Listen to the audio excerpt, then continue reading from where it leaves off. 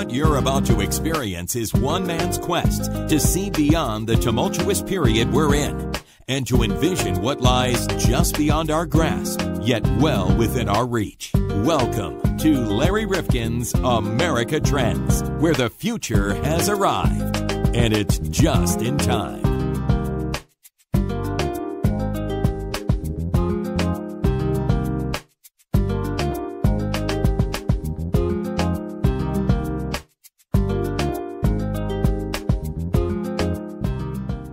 Remember the song "The New Boss"? Same as the old boss. yeah, remember I that? remember that. The Who. The Who.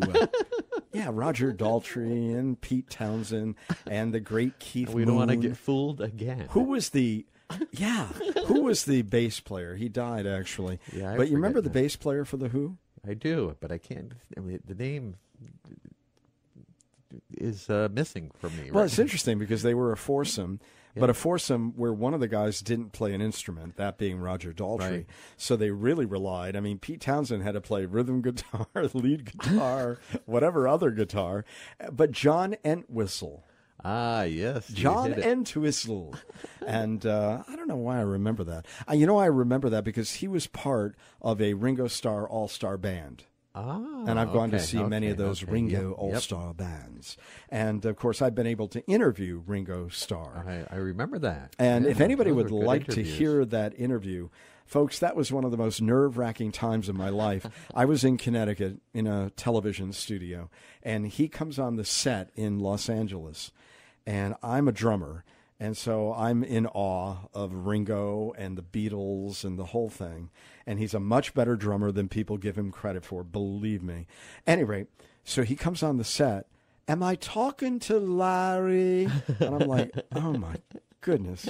That's he knows you. Yeah, he knows me. You're somebody. yeah, I'm somebody for the moment. And Ringo got a little upset with me only because of one question. He did like the interview, I think, overall, Yeah. because I brought it down to drummer to drummer, uh, Right, but not right. technical or anything. But I mean, gave people a sense, like I said, you know, how was it that you were able to adapt? Because all the other guys, and they were writing most of the songs, were going in totally different directions. One more an Eastern influence, uh, one more harder rock, others more pop. How were you able to kind of stay with them? Because the way it happens now is you call in a studio drummer, hey, I want a guy who's played, you know, kind of that fusion stuff or this or that. And he said, Larry, we were a band. That's what we did. No BS, no nonsense, you know, no pretense. We just adapted to each other. But I did ask him one question, and it was the question that was on my mind because I had read that John was unhappy only with one song in terms of the tempo. Interesting. So I said, let me ask you. I said, I read where John really wanted to get help back because he loved the song, but he actually thought it was too fast. And he said, Oh, Larry, it was so long ago, you'll have to ask him. Which I thought meant drop dead. I, I think that's what it meant.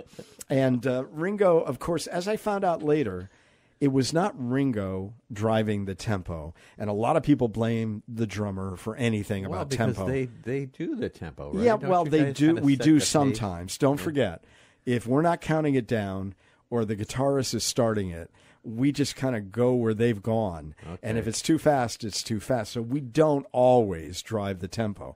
But having said that, in this case, it was the record company that thought "Help" had to be frenetic to be a hit. Ah. Help! I need somebody. And and he loved the song. And What's that? Good too. Oh, it's a great tune. But John, of course, said that that song was one of the most honest things he's ever put onto a record because he was really crying out for help because this whole fame thing was just really beginning to smother him. So anyway, but uh, we had a great interview with Ringo. But why did we get to this? Oh, because we were talking about the Who, the Who. Yes. and we're talking about the old boss, same as the new boss. yes, So here's the question on the table All right. We'll get for to that. today's podcast. Oh yes, you are at American Trends, AmericaTrendsPodcast.com. Is that where we're at? Well, I we didn't introduce ourselves formally, but we're otherwise known as uh, Larry and John, That's us. like Jan and Dean, or like uh, Simon and Garfunkel, or whatever. And what we're really alluding to here is is the old South really still a reminder of what we see today in the New South, or is the New South something really different than the Old South? That's a very interesting question. Isn't it? It really is. Because we're looking at trends. Right. So the question is is the New South very different? South. Or is it not? I mean, can you take the boy out of the South, but you can't take the South out of the boy? Yeah, I don't know. What do you question. What do you think? Well, I think the city south, you know, Atlanta and stuff are very modern, but I still think in the suburbs and the smaller towns, The rural towns. yes, you still may have that old south. so the old I've- I've South, the way you're looking at it, John, sounds to me a lot like Deliverance. Well, it sounds like don't that, don't you come back here I, I think to Aintree. some of them are still fighting the Civil War. Well, that's I what felt we kind of I felt kind of funny when I was in Georgia one time, and we we got off track because there was a something on the highway. You know, it had an accident, so we figure we'll take a route around that. We came across this. Uh, I don't know whether it was a barbecue or it was like a tag sale thing. So we said, "Ah, let's stop. Tag sale barbecue. just- Yeah, those are it famous was, It was there, very yeah. uncomfortable though once we got in there. Oh, really? And, uh, yeah, and uh, you know, here I had to the Connecticut plate on my car. and I was a Ah. little nervous when I was leaving. one of the guys who beat us a few years back, and it wasn't the Super Bowl and it wasn't the World Series. So I think I think there's still a Lingering. a lingering effect in in some parts of the South, but I think you get into the cities like Atlanta, they're very very you know. They're sort of like New York in a way, you know. They're they're very. Cosmopolitan. Yeah, that's yeah. the word. Yeah, absolutely. Uh, there's no question. There's been a lot of change in the South. It's not the old. However, you know, it rhymes a bit. There are still remnants. Of course, what we just saw in Charlottesville and the fact that social media giving anonymity to uh, many groups that had been outliers and seemingly had been so marginalized in our society. And we realize that there's still pockets of that resentment about the war, about race, about a whole you know realm of uh, considerations. And we wanted to delve into that. Uh, we're not afraid to get into areas that are a little uncomfortable. but here bit we are, uncomfortable. 2017, to to think about the, all these, you know, the Ku Klux Klan and all, all this bizarre stuff that We thought it was still- gone. Yeah, that still exists. I mean, it just it just it boggles my mind. Well, we're going to take a really nuanced look at all this with Tony Horwitz. And Tony Horwitz is just a wonderful writer.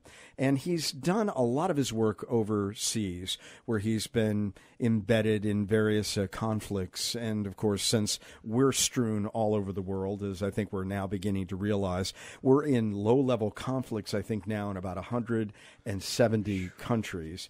Uh, and that's something that we really need to talk about on the We podcast do. and debate. this is and uh, we crazy. need this country to really recognize our obligations around the world and whether we really want to be I mean, entwined should, in all of this. Be, be the world's police, and what is the UN doing? And and you know, I I don't know. I wonder sometimes. Well, today we're going to stay close to home. And Tony Horwitz has done, again, a lot of his great work um, in other far flung places. But he is also a remarkable writer who wrote the book Confederates in the Attic Dispatches from the Unfinished Civil War. Recently, he wrote a piece called Shades of Gray in the New South. And it was in the Wall Street Journal. And I found it so compelling that I wanted to invite him on to America America trends. And we were really fortunate to have him available to us. And John, I know you found our conversation riveting. Yeah, really. no, it was very, very good. You got to listen to this podcast. I mean, it, it's good information. Really, something that everybody should listen to. Yeah, I mean, it's an important part of our nation.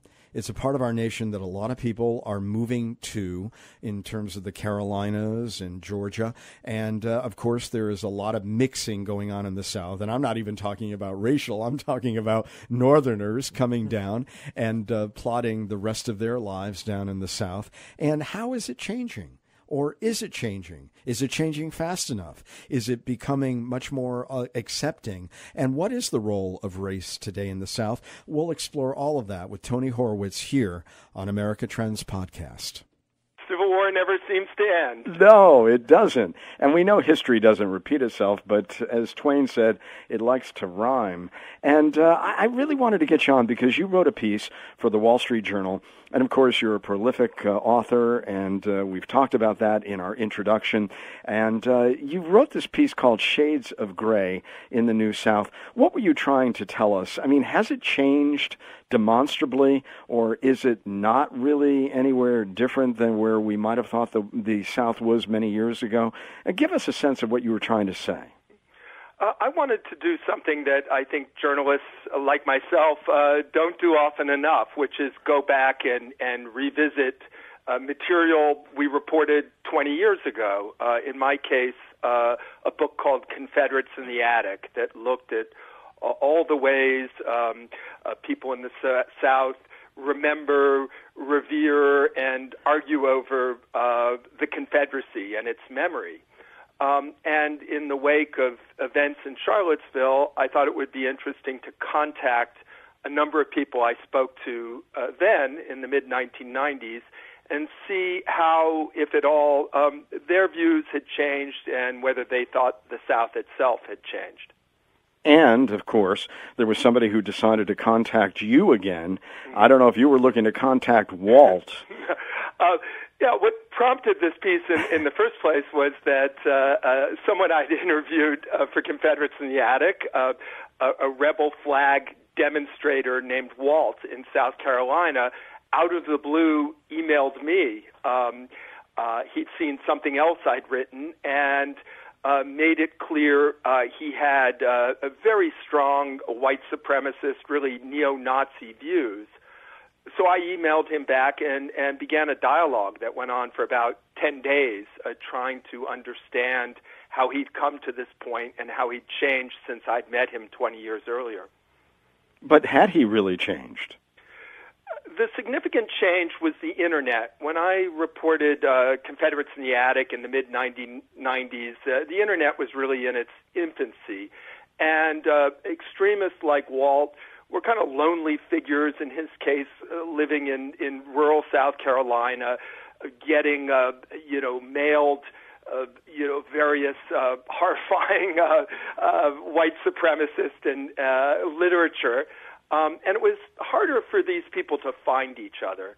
Um, and now I found uh, he lived almost entirely on the internet. He didn't go to demonstrations anymore he really fed on this now global community where um, you can find uh, uh, people who, who, who share your views and, and buttress them. Uh, he was really living in a in a bubble of of hate, uh, not to put too fine a word on it, and uh, you know I found that quite uh, scary because I think it's it's become very common. In many ways, and I had a radio program for many years, and we were talking about segregation. And I bemoan the fact that I think in the North, where I live, uh, there's still such a rampant uh, segregation. And we have taken a moral high ground as it relates to uh, the South and their practices. And yet I wondered how much progress we've made versus how much progress they've made in the South, where it seemed as if there was really much more intermingling going on a new Atlanta, uh, new activities in places like Vicksburg, Mississippi, which were hotbeds for civil rights action. I mean, I, I really thought there was a, a hopefulness about what was going on in the New South. Was I wrong? No, I don't think uh, you're wrong at all. Uh, first of all, I have to say that, that talking about the South as uh, some sort of monolith yes. uh, is as inaccurate as, as talking about the North that way. Uh, depending where you draw the line around the South, you're talking about 100 million or more people, big cities, rural areas, etc. Uh, so I think it's uh, uh, it's dangerous to generalize. Uh, generally, I'd say uh, the big split now is less regional than city, country, and exurb. Um, mm.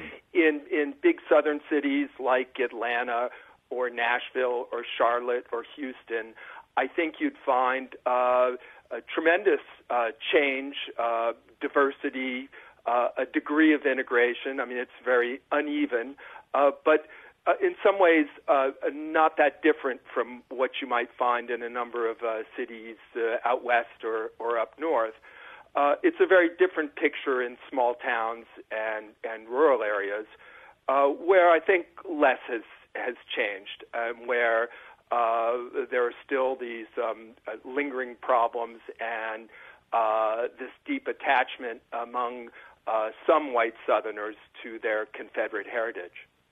And could we look at uh, perhaps the Tea Party movement going back several years as being one of those elements that rallied a lot of folks around some of the old Southern values? Or can we look more at the internet, as you suggest, allowing people in anonymity to express themselves? Or even what happened recently with President Trump, uh, giving voice to uh, some who we thought were isolated and real outliers, uh, giving them another place in society and uh, allowing there to be some equivalence uh, given to their concerns and those who were opposing them. Well, you've asked a lot of big questions. Uh, first, on the Tea Party, I distinguish it from some of the old neo Confederate ideology because actually it conjures the Boston Tea Party and the Revolution, while a lot of um, uh, uh, Southern um, conservatism has traditionally looked to um, the states' rights that, uh, at least politically, uh, the Confederacy is is depicted as as representing. So there's that difference, and I think certainly the Tea Party was an, uh, is a, a national phenomenon. It's not uh, you know uh, particular uh, to the south. I think what is uh, alarming about uh, the internet is you have a phenomenon not unlike what we've seen with uh, jihadists, uh, particularly in Europe, uh, really uh, self radicalized uh, individuals. And I think an example of this is Dylann Roof, um, uh, the white uh, young man in South Carolina who killed uh, nine people in an African American church. Um, he, uh, in his interviews with police and psychiatrists, uh, it's really chilling. He acted uh, completely alone. Um, he he was really, uh, in his telling, uh, uh, moved to action by what he read on uh, these uh, uh, extremist websites that had all kinds of uh, fake news about uh, the number of black on white killings. Uh, and I don't know how you defend against that. Um, and and that's uh, that's what I worry about more than um, the scary people who came out in in um, Charlottesville, for instance. Uh, you know that was that was terrible to see, but uh, at least they're out of the closet um, and uh, identifiable. Uh, I, it, it's much harder with um, uh, people like Dylann Roof, who are, are just quietly at their computers. What about uh, President Trump and the way he responded to Charlottesville? What impact uh, might that have on those who are so inclined to believe that there is legitimacy still in these uh, horrific um, ideologies that uh, we find generally as a society so reprehensible? It's hard for me to judge because uh, I live in Massachusetts while I, tr- I travel for most of my work in the South. I haven't been there during this this recent unpleasantness. Mm-hmm. Uh, uh, so I don't uh, I don't really have a, a, a feel for that to be honest. Uh, I think it certainly yeah validates uh, uh, some people um, in, in feeling that they have a, a, a national voice or, or you know presidential approval uh, for some of what they're doing. Um, but I I don't know that I can add to what you know many other. Well, we'll go back to Alabama and the president's visit recently and what happened just in Alabama just the other day. But uh, there was an article that I read by Zach uh, Beauchamp, and it goes back to 2013, and he talks about a lot of studies that try to account for various um, political variables, if you will, and uh, they look at religion and religion, we know in the South, uh, is taken quite seriously. So trying to factor that in as to some of the political views. But uh, the headline for his article was Yes, the South really is different, and it's because of race. Well, again, I think we're we're we're talking about one segment of the South. Uh, obviously, white Southerners. Uh, I think uh, mostly of an older generation. Uh, probably mostly uh, rural or living in, in white flight suburbs. And uh, yes, among that uh, contingent, I think you'd um, you'd find uh, uh, uh many people who are still trying to come to grips with, you know, what's happened to our country? We had a black man in the White House for eight years. You know, where am I in this picture? Um, but I think it's um, a, a mistake to uh, paint too broad a brush. I mm-hmm. think there are also uh, uh, many white Southerners who are appalled by uh, what happened in Charlottesville in particular. I mean, after all, the South has been, uh, you know, stereotyped for generations as, you know, this racist backwater. Um, and I think, you know, these kinds of incidents uh, make a lot of people, you know, cringe. Uh, you know, uh, they want to move on. Uh, they really don't, you know, want to go back in in this way. We'll return to this episode of America Trends in just a moment. If you like what we're doing here at America Trends Podcast, please don't keep it to yourself. I know there are a lot of people, John, who think, well, if I'm listening, and somebody else wants to listen at the same time, maybe we're going to collide and they're not going to be able to hear us. Yeah. Is that the way the technology works? No, there's plenty of bandwidth. Everybody can listen at the same time. All so right. Well, that sure dispels that. that myth. now, you can do a number of things that would really be helpful to us. You could give us a kind rating or a review at Apple Podcasts, and that boosts what they consider to be our value and visibility. And what does that do, John? Well, that puts us in the forefront so that you can find us easier, and uh, most important is other people can find us easier. And you can subscribe there or on our site, americatrendspodcast.com, or wherever you're listening, so we can alert you to new episodes of the podcast, which, by the way, we put out twice a week on Tuesdays and Thursdays. And stay in touch with us on both Facebook and Twitter at Trends Podcast.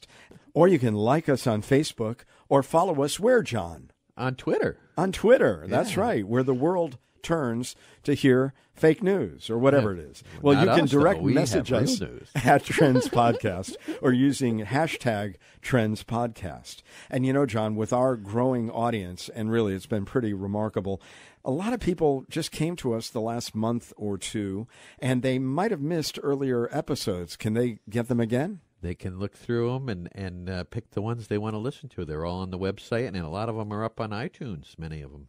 All right. Well, listen, there's lots of material to listen to. We hope you have the time and will lend it to us because we try to make it worth your while. And thanks so much for listening. And tell your friends. We now return to this episode of America Trends. Well, you made a very interesting point. A lot of people talking about Donald Trump's actions as president. How much did the fact that Barack Obama was eight years the president of the United States really even drive some people uh, into a more conservative place. And uh, we see where you would think that uh, things were changing and uh, there is much about voting rights and so forth over the years. And yet in Alabama, in the Republican primary, somebody that I think most people would find uh, shocking in some of uh, his thought processes ends up winning a primary, and somebody who's right, very conservative of his own right is not, and backed by the president himself, is rejected. So where are we going? going here, at least in some of these enclaves? I think certainly there there's been an element of backlash against uh, eight years of President Obama. How much of that is is race is can be hard to tease out. I mean, as we all know, there were uh, I think something like 200 counties uh, that voted uh, twice for Obama and then flipped to Trump. Many of them in the Upper Midwest. So again, I wouldn't confine this to the South. We have this habit of uh, looking at the South as a sort of our evil twin, and and projecting it on it what are you know really national sins of you know, racism, violence, uh, lack of education. Um, you know these are these are problems we have uh, across the country, um, and you know. But I certainly um, yeah, have sensed some uh, very raw racial attitudes in my travels in recent years. I'm reporting another book about the South. Um, uh, you know, perhaps most strikingly in in Appalachia uh, mm. rather than the Deep South, uh, where uh, it's combined with uh, just resentment at, at everything that they see through their eyes as you know economic disenfranchisement um, uh, sort of being sneered at by the coastal elites, um, and and Trump uh, sort of spoke to that anger and pain. Um, and yes, for some, uh, is definitely racial element to it, but it's I think it can be hard to, you know, identify it cleanly uh, at times and say, "Oh, that's that's it, and that's all it is." Uh, I think there's a complex. There. Well, it was in your article, and it was a subheading: "The Confederacy may still rally extremists, but it is a fading memory in the region." And I was comforted by some of the comments by John Coski uh, who is uh, the head of a museum of the Confederacy in Richmond. Tell us about that interview and what you gleaned from him. Yeah, uh, John Coski is uh, someone I've I've known for decades. He's actually the historian at the Museum of the Confederacy, and that museum itself, I think, reflects the change. Uh, it's uh, uh, amalgamated with another museum so that it won't even be called the Museum of the Confederacy anymore because that's seen as uh, uh, off-putting to many people. Um, and what he said to me, I found interesting, was that he spends a lot of time talking to young people, uh, you know, in schools and to visitors to the museum. And as he put it to me, you know, most of them just have zero investment in this whole legacy of the Confederacy and its symbols, the flags and the monuments, um, which is a big change from uh, you know, their parents' and grandparents' generation, when many white Southerners were really marinated in the lost cause and raised to, uh, if not to revere it, to uh, sort of instinctively rally to its defense. Um, if there were calls to, you know, bring down a flag or, or bring down a monument. And in Coski's view, and I think he's right, there just isn't that critical mass uh, uh, anymore um, that could carry the day on those issues. And that's why I think you're seeing, uh, well, the flag came down from the Capitol in South Carolina after Dylann Roof's shooting. We're now, of course, seeing monuments coming down in, in, in cities uh, across the South. And I think uh, that reflects what Coski senses that, you know, the tide has turned um, on, on, on that issue. But that issue was going on over a period of time, and it would flare and then it would subside in one case or another. And now it's almost a national debate again about these monuments and their importance and what are they symbolizing. Is it uh, to whitewash our history, or is it uh, to remember that you know those who were vanquished? I mean, I as a Jewish American can only think if I lived in well Germany, let's say at this time, and I saw, uh, you know, these uh, statues to Hitler, what that would mean to me. So, what are we really debating here about these monuments as you see it? And what do you think the best resolution of an issue that has many of these still at the forefront of a lot of uh, town squares? What do you think should be uh, thought about in this process? I think this is a, a fascinating and, and, potentially educational debate. Uh, unfortunately, I think uh, uh, that gets lost in, in a lot of the furor. Um, uh, but for instance, you mentioned Germany. Uh, what Germany has done in, in many cases is leave up, uh, for instance, um, uh, terribly uh, anti-Semitic artwork uh, from earlier eras, not uh, not uh, so much the Nazi era, but uh, Middle Ages, mm-hmm. um, and they will put beside it uh, explanatory information and artwork that presents a, a sort of commentary on it. Um, it. It's addition rather than subtraction. It's uh, uh, using these um, uh, these items really as a teaching tool.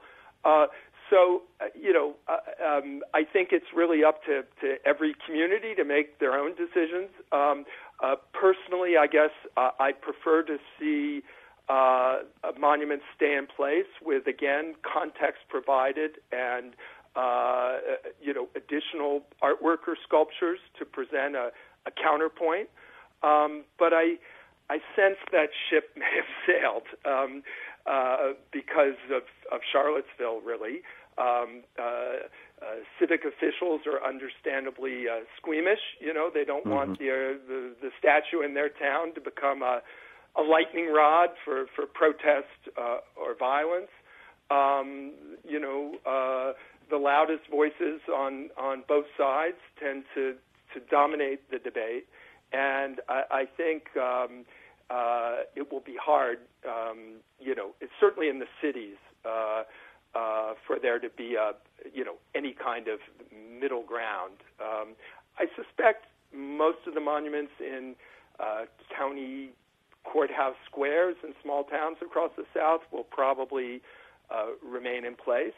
Um, and uh, I, I think we're we're still it's still a developing story. I mean, there've been questions raised about monuments in in cemeteries um, uh, to Confederates. Uh, so uh, I think we'll we'll see over the next year or so uh, how far this uh, campaign goes when we look at uh, Germany and other parts of Europe where the concentration camps have remained there so people can see and understand the horrors that took place within, it's very interesting to see in your article, Shades of Gray in the New South, that a lot of these antebellum sites across the South have now restored the slave quarters. Uh, tell us about that movement. Yeah, this is a, a pretty dramatic change I see traveling the South now compared to again when I um, uh, spent a lot of time there in the mid 1990s. Uh, back then, uh, not all, but uh, certainly the, the great majority of plantations open to the public. Uh, the word slavery was barely spoken. Uh, they would they might refer to servants. The tours were all about the big house, the furnishings, the hoop skirts, and, and all that. Now uh, you go to some of these same places I visited 20 years ago, and they have restored uh, slave quarters and a quite frank presentation of you know uh, life under bondage. Um, and uh, and people are interested in that, and I think they've discovered that you know, I think there was a fear that somehow they would kill the golden goose if you take away the the romance of the the old South and you know tell people about the horror that somehow people would stay away. Uh, I don't think that's the case, um, and I think this is a really um, you know again uh, under the surface of all the media attention to um, incidents like Charlottesville, there has been real uh, progress on the ground, and you see it at Civil War battlefields too, where uh, the National Park Service, which used to be very wary of uh, offending anyone, uh, has incorporated uh, slavery um, and race generally and black troops much more into their interpretation of these sites. And that is a change from what we've seen in mm-hmm. the past. Yes, definitely. I'd you know I'd say it's been a long time coming. This hasn't happened overnight. I'd say you know it's been a it's been a gradual uh, change over you know the last few decades. Robert Lee Hodge, uh, you talk about him in your article. You interview him again, and he calls himself a liberal Confederate. Explain what that is and how representative that uh, cast might be in terms of how many folks might consider themselves uh, to be liberal Confederates. Yeah, Robert Lee Hodge is a, a rather eccentric figure, so I wouldn't suggest he's um, uh, typical. He's a, a hardcore Civil War reenactor who, you know, believes in really going all the way, eating only the foods that soldiers would have eaten, and even sort of he and his mates will, you know, virtually starve themselves to get the gaunt, hollow, hollow-eyed look of, of rebel soldiers. What he means by liberal Confederate is that uh, his his attachment to the Confederacy is his historical interest, uh, his ancestors. Um, it's not uh, for him uh, political or racial. He voted for Obama. He, you know, he's he's in most uh, respects uh, uh, politically liberal, um, but feels he should be able to, uh, in a historical context, uh, put on a gray uniform, even carry a, a rebel flag in a battle reenactment or a parade. Um, uh, and he fears now that um, in the current environment, um, that uh, you know people like himself will be uh, you know shunned or there'll be protests. Um, uh, uh, one uh, uh, Virginia reenactment was has already been called off because uh, uh, local officials were worried what might happen. Um, so uh, you know he, he would argue that the, the pendulum is, is is is swinging too far the other way, and that again there's a lack of uh, a nuance here, and that there's possibility for, you know, as he put it, Fifty Shades of Gray. What about Joseph McGill, an African American, and how representative is he? How many African Americans were you able to speak to who live in the New South and what they're sensing today? Yeah, uh, he, um, I would say, uh, gave me a quite uh, optimistic view of the changes. Uh, when I met him the, 20 years ago, he was uh, working at Fort Sumter, one of the great shrines of the Confederacy in, in Charleston Harbor. Uh, he now has launched a really fascinating uh, project um, called the Slave Dwelling uh, Project. And what he does is he finds uh, existing slave dwellings, uh, not just in the South, all over the country, because there are some in the North, um, and and asks the owners or the uh, museums who have them if he can spend the night there um, to sort of highlight the need to preserve these places. He speaks to students and others and sort of spreads the word about, uh, you know, telling uh, the story of the people who lived in these cabins and, and preserving them as, you know, uh, a reminder of that. And he's been extremely well received. Uh, actually went with him uh, and stayed with a, in a couple of slave cabins in, in Georgia and and it was it was fascinating to see. Uh, one of them was a, a huge plantation that was filled with ball gowns and you know paintings of Robert E. Lee.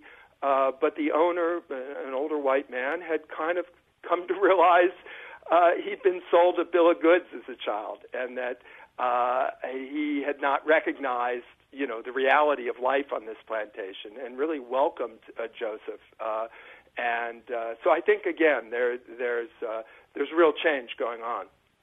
You know, when I was uh, reading this article that goes back several years about, uh, yes, the South really is different, let me quote something, and I'd love to get your reaction to it.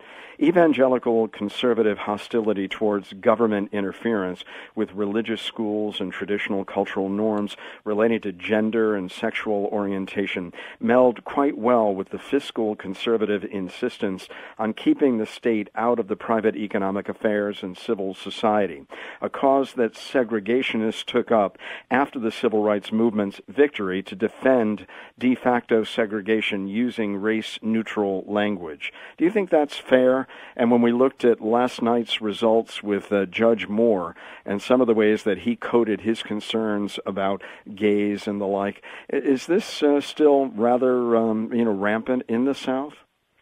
Well, I think you know states' rights and limited government, uh, you know, has always had a, a, a very strong appeal to, to to many in the South, and has been you know kind of resurrected over and over again, uh, and obviously taken up by conservatives uh, uh, elsewhere. Um, so you know, I think how the religion plays into it, I'm I'm a little um, wary. I mean, you have many black evangelicals in the South. Uh, another change that I've seen uh, is that you know uh, you see uh, integrated you know evangelical churches. Um, you know, not all the time, but not infrequently. Uh, again, something that I think was uh, uh, uncommon uh, just a few decades ago. Uh, there's a, a real attempt, uh, you know, to some degree self-serving by uh, groups like you know the Baptist Conven- Southern Baptist Convention to uh, to reach out. Um, uh, they recently, a few years ago, named the first uh, black head of the uh, Southern Baptist Convention. So again, I'm I'm wary of uh, you know uh, painting uh, you know a, a very diverse group of people uh, with one brush.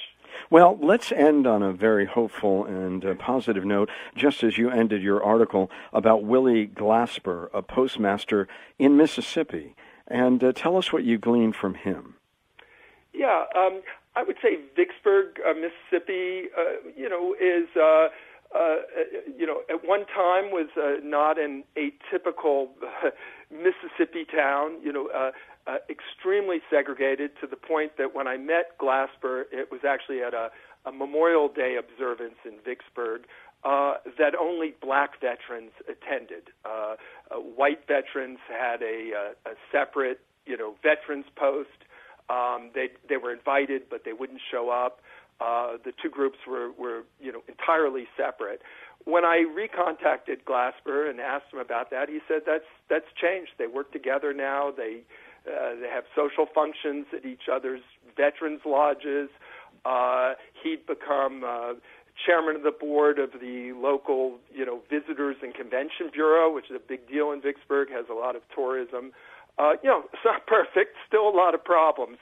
Um, but he felt again that there, you know, he lived through the civil rights era. He still has scars from being attacked by and cut by uh, young white men back in the '60s. And you know, he he says basically, we're not, you know, we're not going back. You know, anyone who thinks we're we're rolling the clock back, it, you know, it's not going to happen. Um, and he personally didn't really even care about the monuments in in Vicksburg because he said nobody even looks at them. And if they do, what do they see? Monuments to a lost cause. uh, and uh, you know, I think that's also an, a not uncommon uh, attitude that um, uh, you know uh, it's important to talk about these monuments, but uh, you know uh, it can get blown out of proportion. Um, that you know this is something that you know uh, people think about every day. Um, uh, for most people, they're you know they're just part of the landscape. Well, Tony Horwitz, what a pleasure to have you on today. Confederates in the Attic, of course, was a book that many of us read. Your new book and what you're looking at in the South. Uh, what would you like to share with us uh, in terms of what you're working on and uh, what kind of insights we may glean when we uh, ultimately uh, see that book on the shelves? Uh, well, since writing Confederates in the Attic, I've become more interested in uh, really the causes of the war. We we Civil War buffs like myself tend to focus on the, you know, 1861 to 1865, the great battles and leaders, and I don't think we step back often enough and ask, you know, how is it, you know, uh, we got into this horrible war in the first place? So I wrote my last book on uh, John Brown and his raid on Harper's Ferry to try and understand uh, sort of the northern abolitionist view, and now I'm following a. uh, a traveler who went underground uh, for northern newspapers uh, in the lead up to the Civil War, traveling the South, writing about slavery and national division. So I'm uh, following his path, writing about what he saw then, uh, what I see now at another uh, troubled moment in our history. Well, incredible work and uh, body of work, and of course, you've traveled to so many war zones across the world, and now coming back to the United States to uh, put a microscope on us. Thank you so much for coming by today. And again, if you're looking for it, I'm sure you can Google the article "Shades of Gray" in the New South in the Wall Street Journal, going back to the Saturday Sunday edition uh, in late August. Thank you so much for being a part of the program today on America Trends. My pleasure. Thanks for having. me. Thanks for listening to this episode of America Trends.